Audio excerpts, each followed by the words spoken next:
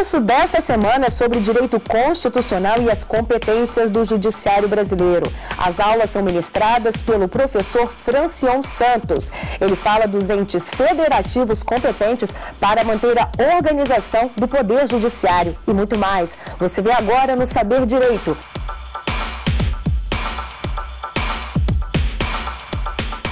Olá, meu amigo estudante, você que acompanha o Saber Direito aí pela TV Justiça, tudo bem, tudo certo? Sou o professor Francion Santos, professor de Direito Constitucional.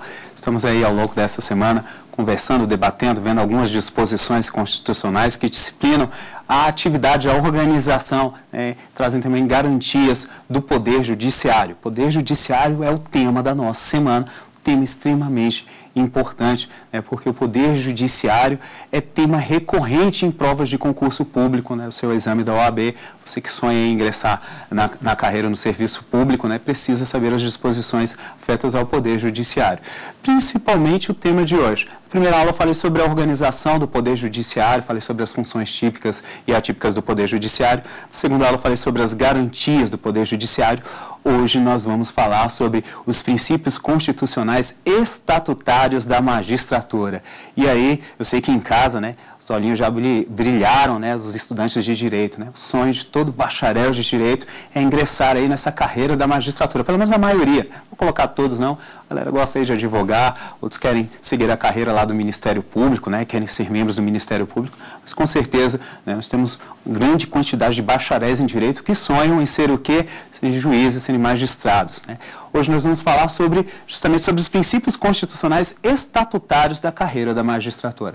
Como eu te disse, é um tema que gosta de cair em prova, é um tema que é, precisa, né, que, é, digamos assim, de algumas é, situações que não estão afetas ao nosso estudo né, e que muitas vezes correm aí é, no meio jurídico de uma forma errada. Então, o que nós vamos fazer? Nós vamos analisar todas essas disposições. Eu trouxe alguns entendimentos jurisprudenciais sobre a matéria, entendimentos importantes, nós vamos comentá-los na, na aula de hoje.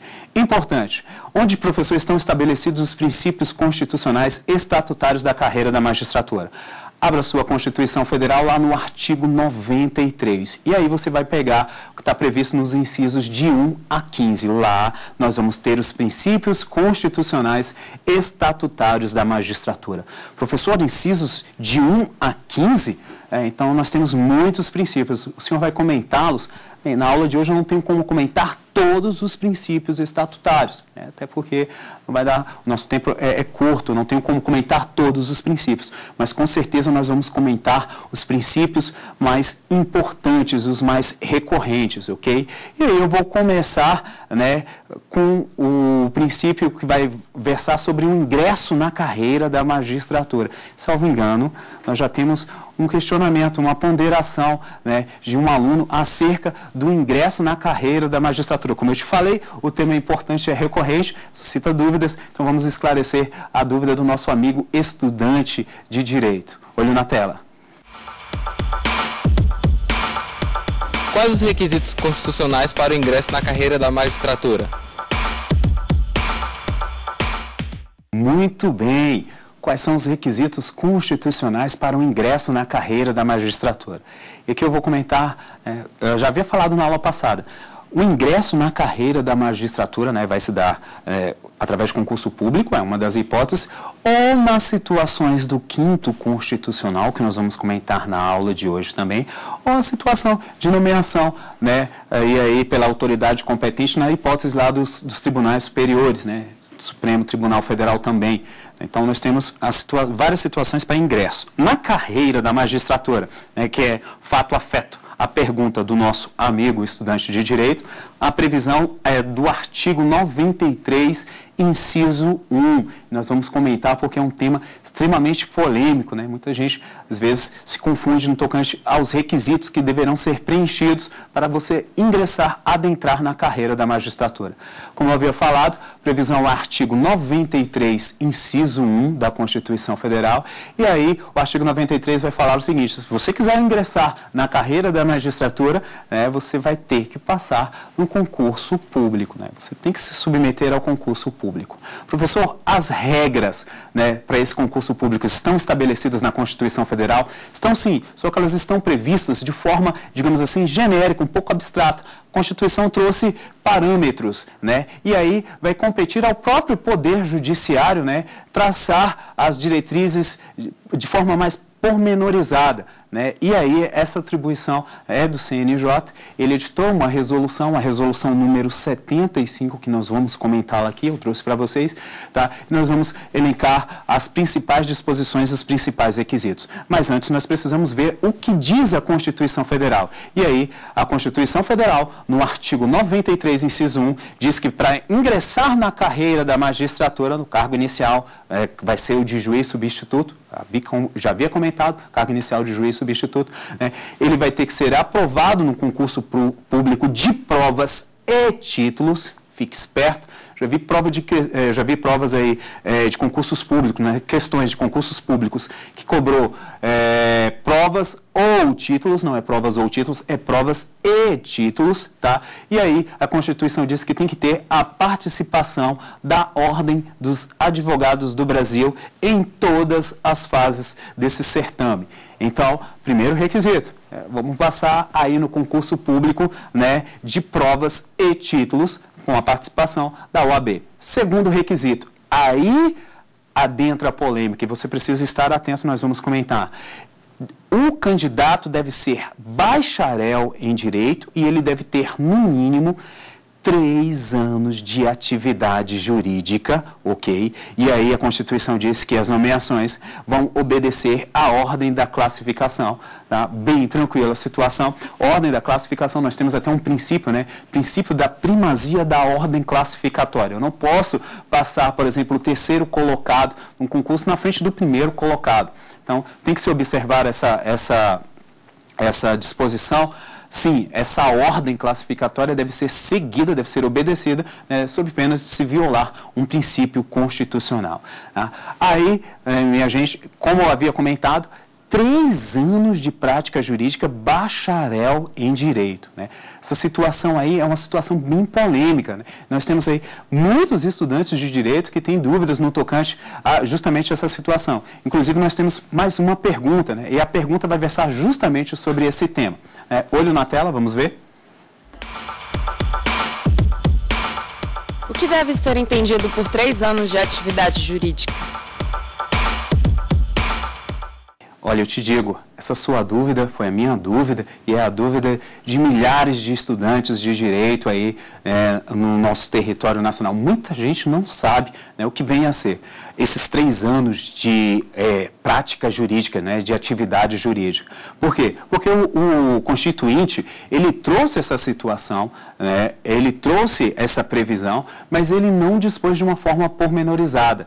Então, esse regramento, né, ele foi estabelecido, essa previsão foi estabelecida estabelecida pelo próprio CNJ e por próprias decisões né, do Supremo Tribunal Federal na análise de casos concretos, né, casos concretos, este que nós vamos comentar agora. Então, preciso que você esteja atento e anote o número da resolução que vai dispor, que vai trazer para você o que vem a ser esses três anos, o que eu posso entender por três anos de efetiva prática jurídica. A resolução é a resolução 75 do CNJ, então você já vai deixar aí né, dentro do seu, o seu material, digamos assim, para incentivo ao estudo, a resolução 75, né, você precisa preencher aqueles requisitos. Tá? O artigo é o artigo 59. Então, o artigo 59 da resolução 75 do CNJ elenca a, a, aquelas atividades que, que são consideradas como prática de três, como prática jurídica. Então, preencheu, exerceu aquelas, aquelas atividades dentro desse lapso temporal de três anos, você vai preencher o requisito. Nós vamos comentar essas disposições aí é, para vocês que estão previstas no artigo 59 da Resolução 75 do CNJ. Prestando muito bem atenção, né? a Resolução 75 ela trouxe considero como atividade jurídica aquela exercida com exclusividade por bacharel de direito. Por exemplo, né, você está exercendo um cargo, pode ser, professor tem que ser um cargo é, provido por concurso público, eu ingressei para exercer, pode ser ou pode não ser. Por exemplo, você pode exercer um cargo comissionado, um cargo em comissão, por exemplo, de assessor jurídico. Né? O cargo de assessor jurídico, né, se for privativo de bacharel em direito e você o exerceu por três anos, você preencheu o requisito lá do artigo 59, inciso 1 da resolução 75 do CNJ. Então, aquele cargo que é privativo de bacharel de direito, o CNJ considera como prática jurídica. Né? O inciso 2 coloca o efetivo exercício da advocacia, e aqui é muito importante inclusive a voluntária aquela que você vai prestar, é, é, por exemplo, um, é, auxiliando como colaborador na defensoria pública. É considerada, professor? Também é considerada. Aí ele coloca, mediante a participação anual mínima em cinco, cinco atos privativos de advogado. Então, durante um ano, você tem que participar é, de cinco, digamos assim, processos, cinco atos que sejam privativos de advogado. E aí não importa se a prestação dessa atividade é remunerada ou não. Pode ser um serviço remunerado, mas aqui diz também que pode ser um serviço voluntário. Né? E aí, né, ao, ao é, estudar as defensorias públicas, você vai ver que nós temos muitos, muitos colaboradores, diversos colaboradores, né, que ajudam justamente na defensoria pública para preencher esse requisito, né, esse requisito da prática jurídica. Então, o inciso 2 também é importante, né, esse efetivo exercício da advocacia, inclusive a, a voluntária, né, por um, num período anual você tem que participar de cinco atos privativos de advogado. O terceiro requisito, também, também previsto lá no artigo 59, está lá no inciso 3, o exercício de cargos, empregos ou funções inclusive, ele coloca aqui o de magistério superior, que exija a utilização preponderante de conhecimento jurídico. E aqui muita gente pergunta, professor, pode ser aquele professor de cursos preparatórios para concurso público? Muito bem, não, não tem se estendido esse conceito para aquele professor que, é, que está, é, digamos assim, nas salas de aula de, de cursinhos preparatórios de concurso público, mas sim aquele que exerce o magistério na instituição que é reconhecida oficialmente. Ah, se ele leciona, por exemplo, uma faculdade de direito, no centro universitário, numa universidade, aquele período sim é contado, é contabilizado, né, é considerado como uma prática jurídica. Tá? Então, importante esse magistério superior aí, né, o magistério superior não seria esse magistério, digamos assim, nos concursos públicos, né, dentro das salas de aulas de cursinhos de concurso público, mas sim nas instituições oficiais ou instituições reconhecidas. O quarto critério está previsto aqui, ó, o exercício da função de conciliador, também muito importante, junto a tribunais judiciais, juizados especiais, varas especiais, anexos de juizados especiais ou varas judiciais, por no mínimo, aqui ele vai estabelecer o período, 16 horas mensais e durante um ano. Então, essa atividade de conciliador também é, é considerada? Sim, é considerada, desde que seja prestada, e aqui ele diz, né, junto aos tribunais, então tenho que prestar no âmbito dos órgãos do próprio Poder Judiciário, e eu tenho que prestar com essa carga horária mínima, né? Aí o CNJ diz que tem que ser no mínimo por 16 horas mensais e durante um ano, para que seja considerada como prática jurídica. O do inciso 5, o exercício da atividade de mediação ou arbitragem na composição de litígios, segundo o CNJ também é considerado. Eu tenho outras situações aí previstas, outros julgamentos, né? Tenho situações aí daquela pessoa que trabalha, vamos eh, dizer assim, nas bibliotecas, né? O STF já se manifestou, né? Em uma situação considerando, por quê? Porque ele prestava o serviço e ele mexia justamente com as obras, com aquelas doutrinas jurídicas. Ele conseguiu demonstrar, ele conseguiu demonstrar, ele considerou. Mas na, previsto na resolução eu tenho outras situações. É importante também você estar é, previsto na legislação tenho essas situações, mas existem outras, outros entendimentos é, proferidos também pelo Supremo Tribunal Federal, né, no tocante a se considerar é, determinadas atividades como prática jurídica. Tá? A situação dos cursos superiores de pós-graduação né, já foi decisão também, eh, já foi matéria afeta a decisão do Supremo Tribunal Federal, ele já decidiu né, que esses cursos de pós-graduação, né, principalmente em razão do exercício de atividades que seriam, digamos assim, incompatíveis com o exercício da advocacia, aquele estudante estava lá é, é, se dedicando. Há anos, é, alguns anos atrás, o Supremo Tribunal Federal considerou. Né? Então, é importante você analisar essas decisões, né? se já houve alteração do entendimento, se ele ainda mantém o entendimento, isso daí vai fazer parte do seu estudo, mas é importante analisar todas essas disposições. E aqui você vai me fazer uma pergunta. Professor, no tocante a esses três anos de prática jurídica, qual é o entendimento? Que o CNJ, que o Supremo Tribunal Federal, que a doutrina tem acerca da matéria. Eu posso exercer esses três anos de atividade jurídica ao longo do meu curso de graduação e aí contabilizá-los, eu preciso ter encerrado o meu curso de graduação, seja um bacharel em direito, para assim poder contar, contabilizar os três anos de atividade jurídica para ingresso na carreira da magistratura. E aí o CNJ já se manifestou, o Supremo Tribunal Federal também já se manifestou que a contagem a contagem, ok, dos três anos de prática jurídica se dá após a sua formatura, após ele se tornar bacharel de direito. Eu não vou contabilizar aquele período da graduação. Por exemplo, se você exerceu um estágio supervisionado né, é, no seu o nono semestre, décimo semestre da faculdade. Aquilo dali seria contado para fins de prática jurídica, segundo o entendimento do próprio CNJ, do Supremo Tribunal Federal, não. Essa contagem vai ser feita após o, o término, tá? Após o término do seu curso de graduação, após ele se tornar é, bacharel em direito. Professor, eu tenho essa previsão também lá na resolução? Tenho sim, está aqui para vocês, né? O artigo 58, parágrafo 1 a linha B da resolução 75, né, que nós havíamos comentado, vai trazer isso para vocês. Você já anotou, né? Já foi projetado aí para você na tela. A contagem desse triênio, segundo a resolução, começa da data de conclusão do curso de direito indo até a data da inscrição definitiva. Isso daqui também é um outro ponto importante. Quando, professor, eu preciso demonstrar, comprovar que eu tenho essa, essa prática jurídica para a carreira da magistratura, muito bem, anotem carreira da magistratura, tá? Nós estamos falando do Poder Judiciário. Essa contagem vai se dar, ela, ela vai ser averiguada, vai ser feita da data da inscrição definitiva no concurso. E aqui, pessoal que está estudando aí para a carreira da magistratura sabe que nós temos a inscrição preliminar, e aí você se submete a algumas fases, a prova objetiva, a prova subjetiva, e depois você vai fazer a inscrição definitiva. No momento da inscrição definitiva, segundo a resolução, artigo 58, parágrafo 1 a linha B, você deverá comprovar que o requisito dos três anos de práticas jurídicas. Professor, por que, que você destacou então? Por que, que eu destaquei? Eu fui fundo e falei para você no tocante à carreira da magistratura. Porque eu tenho um entendimento diverso para ingresso na carreira do Ministério Público. Tá? O Ministério Público, né, fazer esse adendo aqui, não é nem o tema, da, nós estamos falando do Poder Judiciário, só para você fazer a anotação e distinguir para o Ministério Público, o entendimento para ingressar na carreira do Ministério Público, né, esses três anos de prática jurídica vão ser demonstrados na pós. O CNMP já trouxe essa situação aí, já demonstrou, já, já regulamentou, disciplinou essa situação.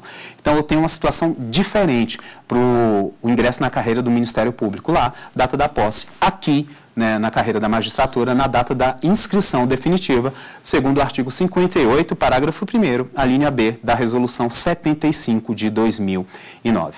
Ok, minha gente? Então, as principais disposições acerca do ingresso na carreira da magistratura são essas. É, você anotou o número da resolução, dá uma estudada na resolução, ela é extremamente importante. Ela não traz só as regras né, no tocante à, à, à, prática jurídica, mas ela vai dispor sobre o ingresso na, na carreira da magistratura como um todo, vai falar como é realizado o concurso público. É muito interessante para quem quer ingressar na carreira da magistratura, né, estudar as disposições lá do, da resolução 75. Agora vamos falar sobre o que está previsto lá na Constituição Federal, né, outros princípios constitucionais e estatutários da carreira da magistratura. E um deles, que nós vamos comentar agora, é a promoção. É, promoção, aquela ascensão na carreira. Né? Todo mundo que ingressa, não só no serviço público, mas aí também no seu serviço é, digamos, na sua prestação dessa atividade é, privada, só em um dia ser promovido, né? ascender essa ascensão né, vertical aí na carreira. E, não diferente, na carreira da magistratura nós temos algumas regras. Tá? A promoção é, está prevista também lá no artigo 93, inciso 2. A Constituição trouxe um regramento. E aqui eu não quero que você confunda promoção, que vai se dar de entrância para entrância, e os critérios são antiguidade e merecimento, com a situação do acesso aos tribunais. Tá? Nós vamos separar as duas situações. Vamos começar a falar sobre a promoção. E aqui, como eu já havia adiantado, a promoção ela vai se dar né, por antiguidade ou merecimento. E aí a Constituição Federal vai falar para você que nós temos a promoção de entrância para entrância.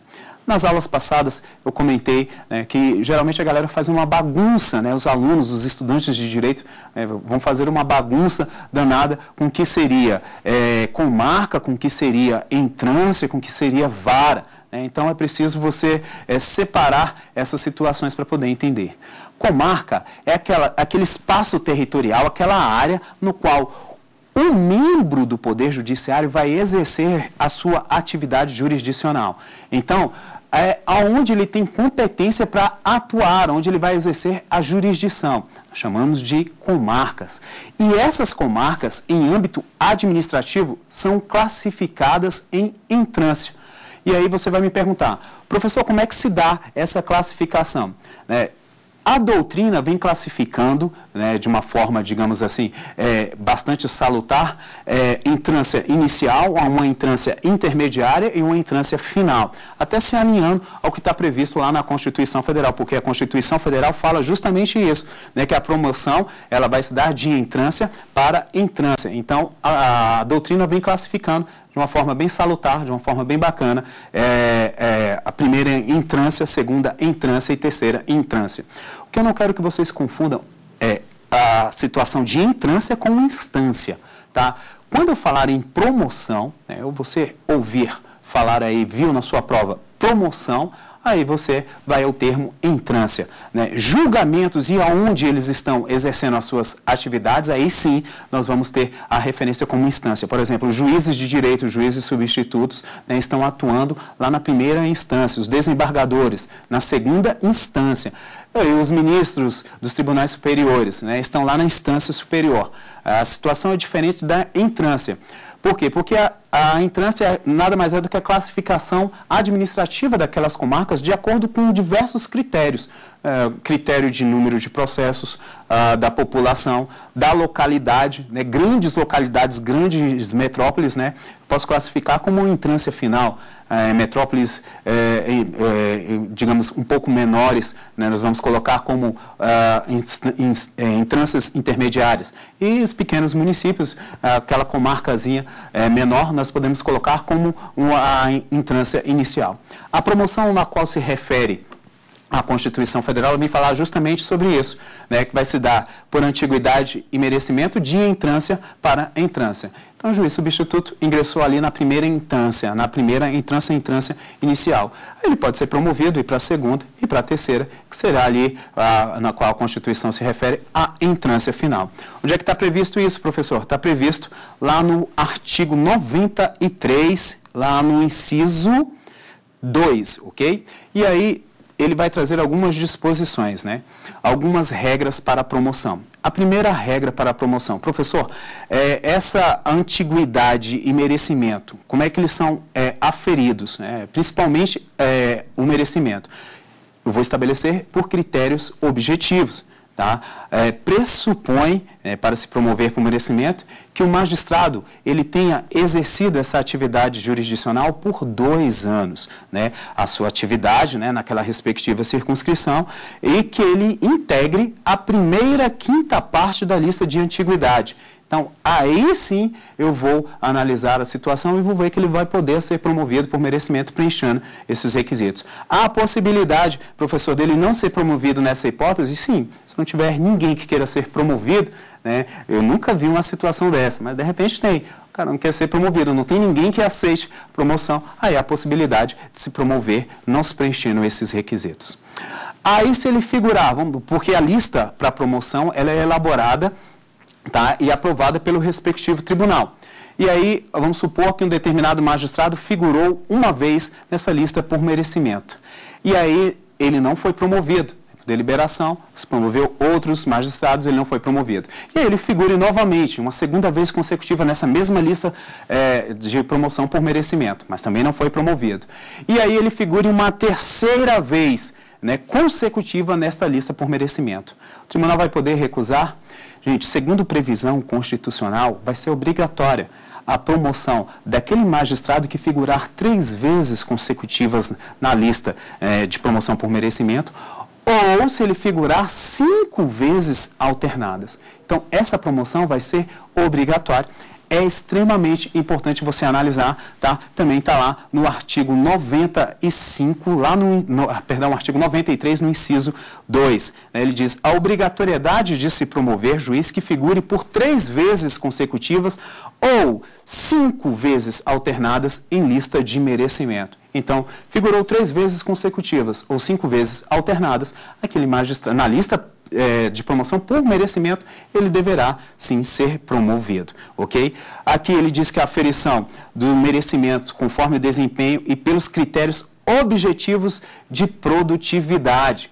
Então, é, a prestação da atividade jurisdicional é considerada como critério é, objetivo. A produtividade, o número de processos julgados pelo magistrado é importante, aquilo ali serve como aferição para o critério né, de promoção.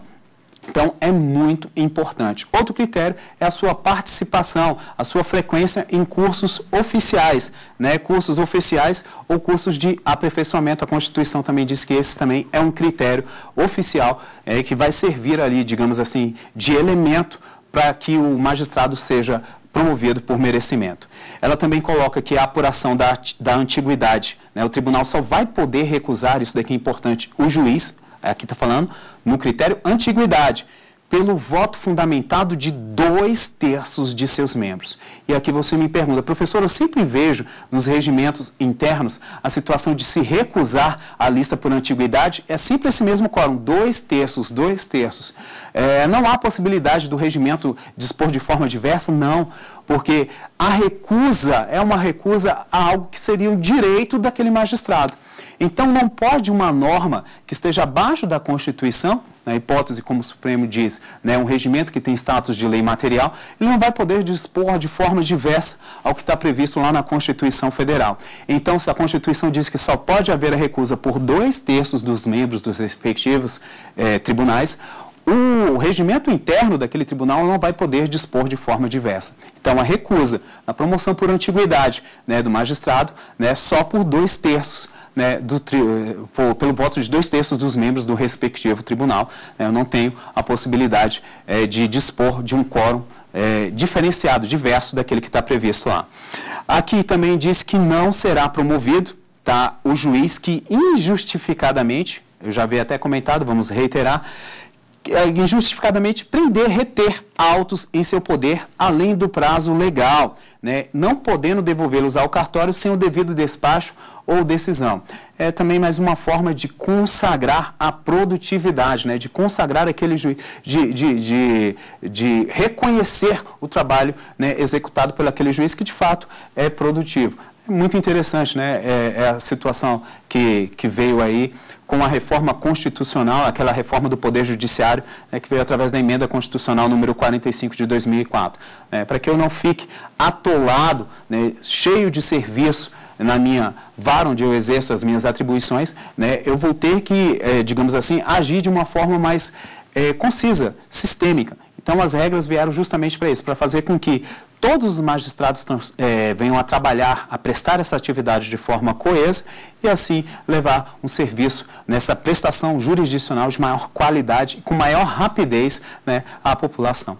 É importante as regras que estão previstas aí. Uma da forma dos incentivos, justamente essa, né, critério para a aferição é, da promoção de merecimento, um critério aí objetivo. Como eu havia falado, eu não quero que vocês façam confusão é importante não fazer confusão entre promoção e entre acesso ao tribunal. Essa terminologia acesso ao tribunal é muito importante. Né? Geralmente, promoção, você até for, é, quando você for estudar os respectivos regimentos internos dos tribunais, você vai verificar é, que a promoção, é, ele, ele vai falar acerca da promoção quando eu tenho a comarca de uma entrância para outra entrância, ou a situação num juiz substituto que é promovido ao cargo de juiz de direito. Tá? Quando um juiz de direito é, é, promovido, entre aspas, a desembargador, a nomenclatura correta, até a nomenclatura que é utilizada pelo texto constitucional e reproduzida nos respectivos regimentos internos, ele vai ter acesso ao cargo de desembargador, acesso ao tribunal. Então, quando se falar em promoção, pense aquela de entrância por entrância, antiguidade e merecimento, ou juiz substituto para juiz de direito o acesso aos tribunais de segundo grau, facear por antiguidade e merecimento, os dois critérios também, alternadamente apurados. Olha só que interessante.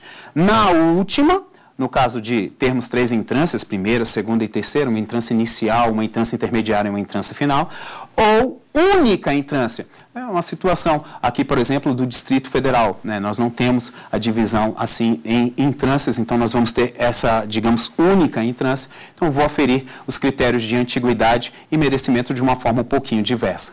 Sempre distinguindo acesso ao tribunal de promoção, tá? Essa previsão do artigo 96, no, perdão, 93, inciso 3 tema também muito importante, né? Quando a gente comenta sobre ingresso na carreira da magistratura, o pessoal já pensa que os olhinhos, né, brilham, né, viram até os cifrãozinhos, né?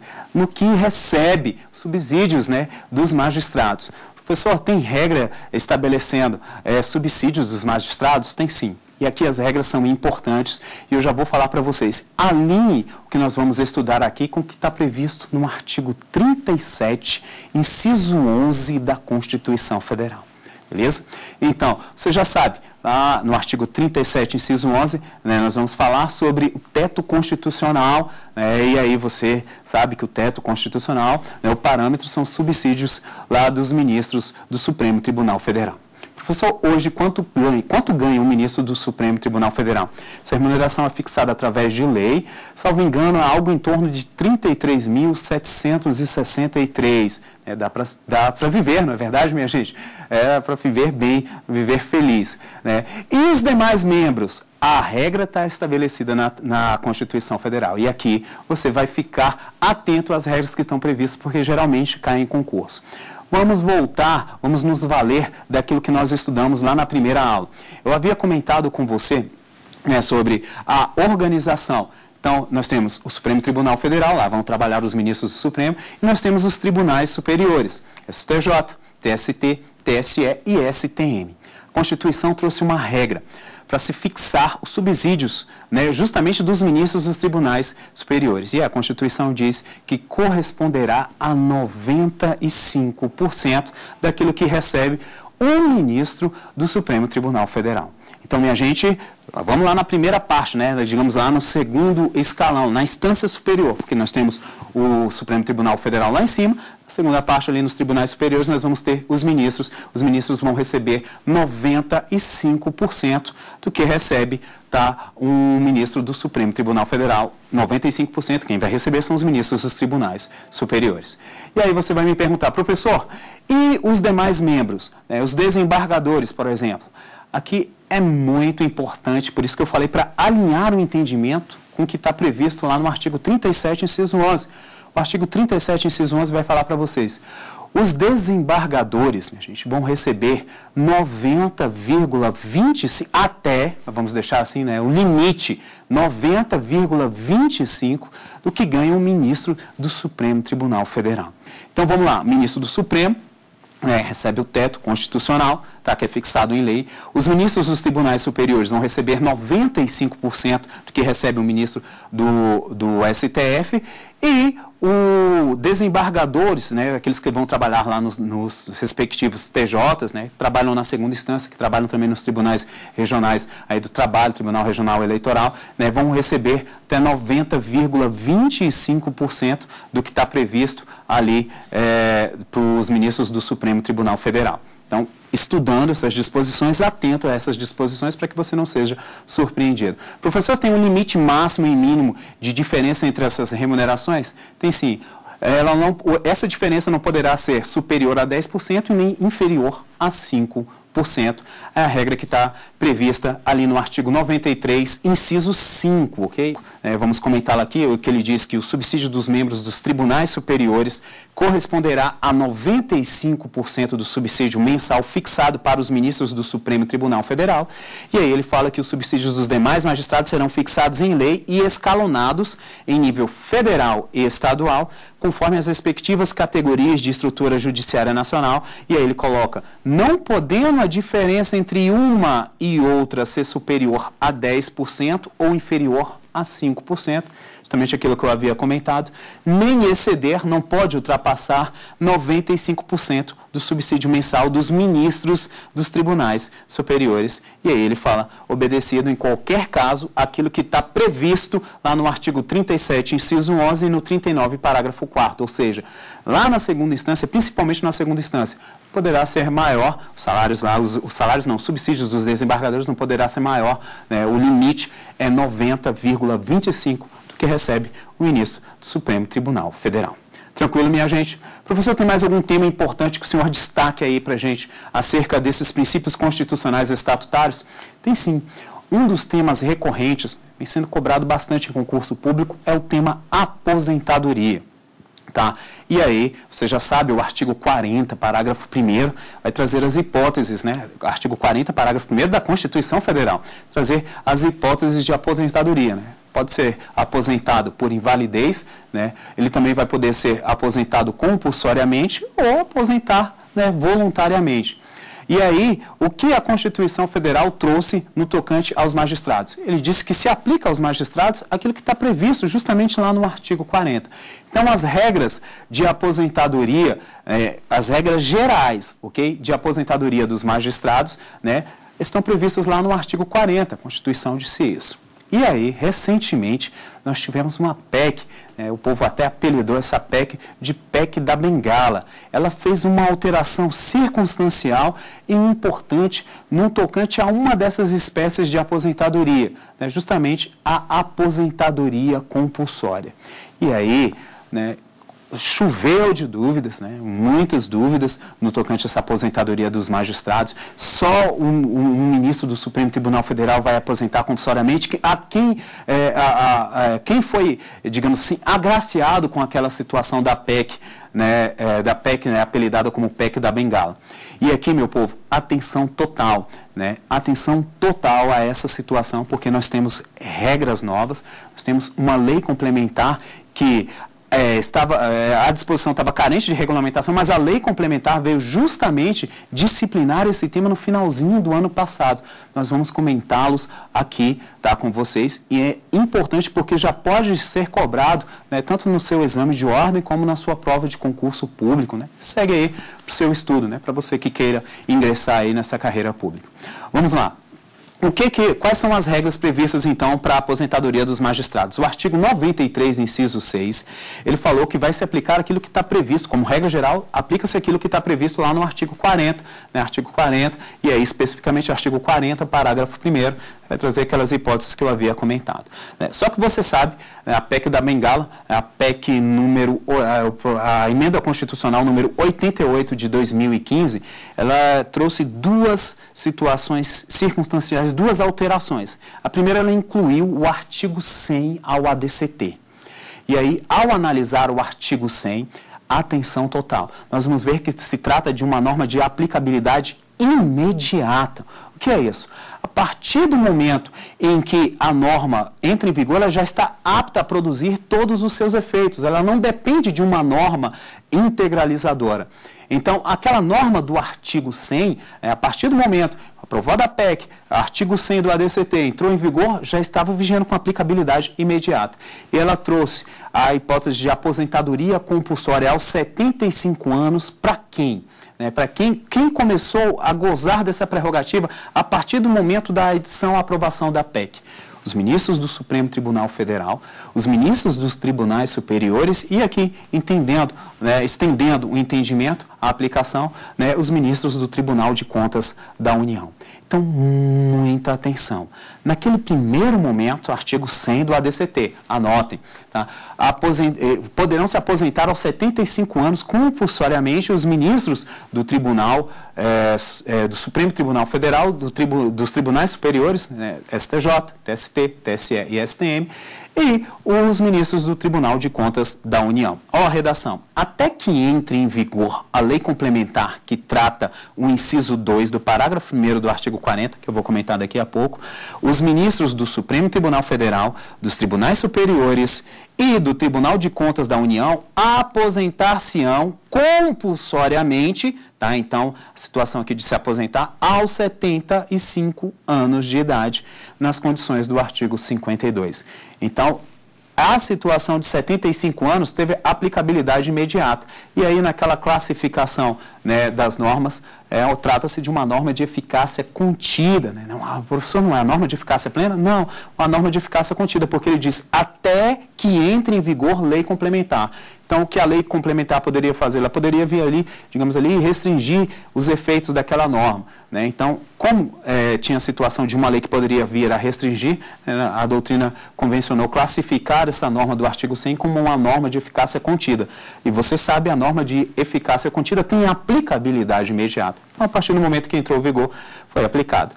E aí se perguntou, e os demais magistrados, os desembargadores que estão trabalhando lá na segunda instância, os juízes de direito, vão se aposentar aos 75 anos ou aos 70 anos? Aí, minha gente, vai se aplicar aquilo que estava, num primeiro momento, se aplicou aquilo que estava previsto lá no artigo 40, parágrafo 1 né? O artigo 40, parágrafo 1 inciso 2 fala que caberia a aposentadoria compulsoriamente aos 70 anos de idade ou aos 75 anos de idade, nos termos de lei complementar. Tinha lei complementar? Não. Aqui nós temos uma situação diferente. Não é uma norma de aplicabilidade imediata, mas uma norma de aplicabilidade mediata. Então, carecia de regulamentação. Precisava dessa lei complementar para regulamentar, para que, naquele primeiro momento, desembargadores e juízes tivessem a oportunidade também de se aposentar aos 75 anos. E aí você me pergunta, professor, a lei já foi aprovada, minha gente? Já foi aprovada? Sim. Tá? A lei é a Lei Complementar número 152. Foi aprovada no último dia 3 de dezembro de 2015, tá? E ela foi justamente regulamentar o inciso 2 do parágrafo 1 do artigo 40, e aí estendeu essa possibilidade de aposentadoria compulsória aos 75 anos para quem? Para os servidores titulares de cargos efetivos da União dos Estados do DF e dos municípios, incluídas as autarquias e fundações, para os membros do Poder Judiciário, é aqui bem tranquilo, então todos os membros agora já tenham a situação regulamentada, poderão se aposentar compulsoriamente aos 75 anos, tá? Os membros do Ministério Público, das defensorias públicas e os membros dos tribunais e dos conselhos de contas, ok, minha gente? Então, bem tranquila a situação da aposentadoria, só atenção, carecia de regulamentação, hoje já está regulamentado ok? Vamos lá, eu havia comentado com vocês acerca do ingresso na carreira da magistratura. Eu falei que ele pode ingressar por concurso público, mas havia é, é, é, algumas outras situações. E aí surgiu uma dúvida, né? Vamos atender a dúvida aí do nosso amigo estudante de Direito. A possibilidade de ingresso na magistratura sem a submissão a concurso público de provas e títulos Há possibilidade sim. E aqui a regra está estabelecida no artigo 94 da Constituição Federal. Muito cuidado, meu amigo estudante. Sabe por quê? Porque esse é um dos temas mais cobrados em concursos públicos. Então, você que está se preparando para concurso público, você que está estudando para o exame da ordem, precisa saber a regra do quinto constitucional. Professor, regra do quinto constitucional? Sim.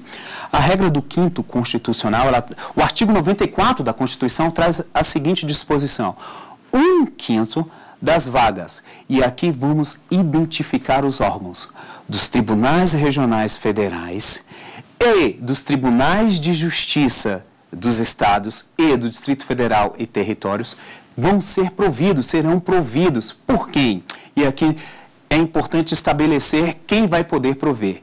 Primeira situação, membros do Ministério Público com mais de 10 anos de carreira. Essa é primeira situação. Então, tem que ter uma reserva de vagas destinadas a ele. Segunda situação, advogados com mais de 10 anos de atividade profissional, que tenham um notável saber jurídico e que tenha reputação ilibada. Então, minha gente, há sim a possibilidade, respondendo à pergunta, pelo quinto constitucional, de que membros do Ministério Público, né, tá certo que eles se submeteram a concurso público, mas não um concurso público específico da carreira da magistratura. Não, eu tenho essa situação diversa.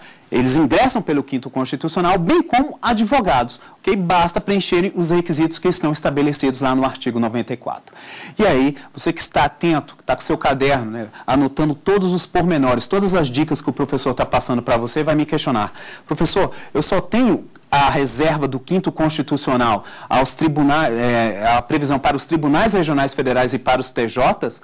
Não. A reforma do Poder Judiciário, aquela lá do, da emenda constitucional 45 de 2004, estendeu a regra do quinto para mais dois tribunais. Para o Tribunal Superior do Trabalho, também deve ser observada a regra do quinto constitucional, e para os tribunais regionais do trabalho. Então, minha gente, já anota aí ó, no seu caderno quais são os tribunais que deverão obedecer à regra do quinto constitucional. Os tribunais regionais federais, os tribunais de justiça dos estados e dos territórios vão destinar um quinto das vagas, mais o Tribunal Superior do Trabalho e os tribunais regionais do trabalho. Ok? anotou todos os tribunais, vou falar para vocês acerca do procedimento. Né? Procedimento também é importantíssimo. Professor, como é que se dá essa indicação, esse provimento desses cargos, dessas vagas? Vamos lá, minha gente. A respectiva instituição, o respectivo órgão vai elaborar uma lista sextupla Professor, o que vem a ser uma lista sextupla? Lista sextupla, uma lista com seis nomes, tá? Então, o Ministério Público, né, quando for uma vaga destinada ao Ministério Público, ou a OAB, quando for uma vaga destinada a advogados da respectiva localidade, vamos trazer como exemplo aqui um, um tribunal, o TJDFT, é, vamos, vamos é, supor que no TJDFT nós temos um total de 40 desembargadores, né, oito vagas são destinadas ao quinto constitucional, e aí uma das vagas agora que, é, que surgiu é destinada justamente a um membro oriundo da advocacia que, que vai acontecer?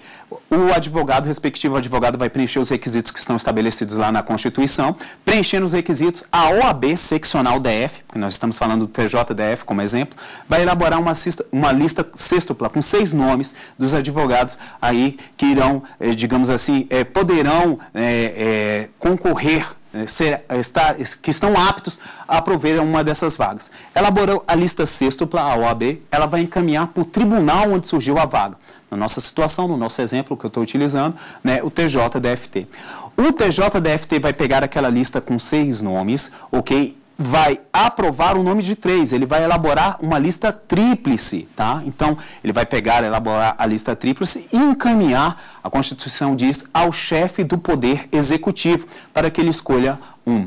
Aqui, em alusão ao exemplo que eu estou falando, né, do TJDFT. Como aula passada eu falei, TJDFT é mantido e organizado pela União.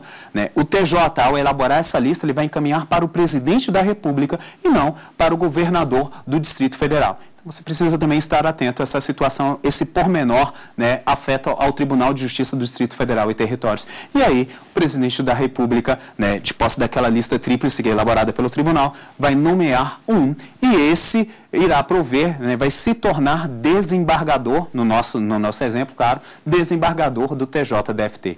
O mesmo raciocínio você vai utilizar no quinto constitucional para uma vaga destinada ao membro do Ministério Público. Então, na situação, né, surgiu no TJDFT, nós vamos colocar um MPDFT, elaborando uma lista sextupla, encaminhando para o TJDFT. O TJDFT vai pegar a lista sextupla, vai escolher três nomes, e aí vai encaminhar para quem? Para o chefe do Poder Executivo. Na situação, TJDFT, presidente da República, e ele vai nomear um para se tornar, né, para ser desembargador. Só lembrando, né, alinhando todos os conhecimentos que nós adquirimos aqui.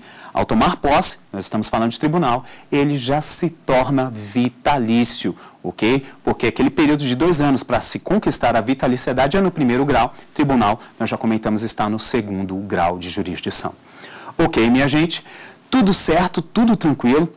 Hoje nós vimos muitas disposições importantes, porque nós falamos sobre os princípios constitucionais estatutários da, da carreira da magistratura.